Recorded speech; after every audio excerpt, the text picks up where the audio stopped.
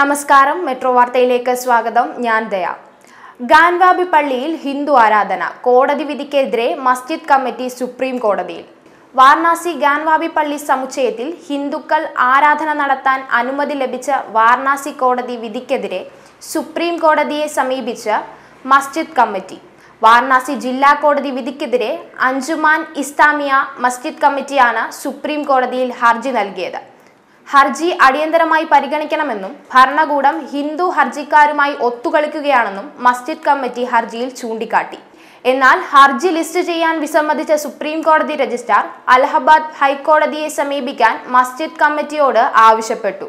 ബുധനാഴ്ചയാണ് മോസ്കിനുള്ളിൽ വ്യാസ് ടിക്കാന എന്നറിയപ്പെടുന്ന സ്ഥലത്ത് ആരാധന നടത്താൻ ഹിന്ദുക്കൾക്ക് വാരണാസി കോടതി അനുമതി നൽകിയത്. ഏഴ് ദിവസത്തിനുള്ളിൽ പൂജാരിക്ക് ഇവിടെ പ്രവേശിക്കാനും പൂജകൾ നടത്താനുമുള്ള സൗകര്യം ഏർപ്പാടാക്കണമെന്നായിരുന്നു കോടതിയുടെ വിധി. എന്നാൽ വിധി വന്ന അന്നു രാത്രി തന്നെ ആരാധനയ്ക്കുള്ള സൗകര്യം ഒരുക്കാനാണ് ഭരണകൂടം നടപടി സ്വീകരിച്ചത്. പിന്നാലെ വാരണാസി ഗാൻവാബി പള്ളി സമുച്ചയത്തിൽ വ്യാഴാഴ്ച പുലർച്ചെ ഹൈന്ദവ വിഭാഗം ആരാധന നടത്തി. കാശി വിശ്വനാഥ് ട്രസ്റ്റ് നിയോഗിച്ച പൂജാരി ആരതി നടത്തി. പള്ളിയിലെ വ്യാസ് നിലവറയിലാണ് ഹൈന്ദവ വിഭാഗം പൂജയും ആരാധനയും നടത്തിയത്. ന്യൂസ് ഡെസ്ക് മെട്രോ വാർത്ത.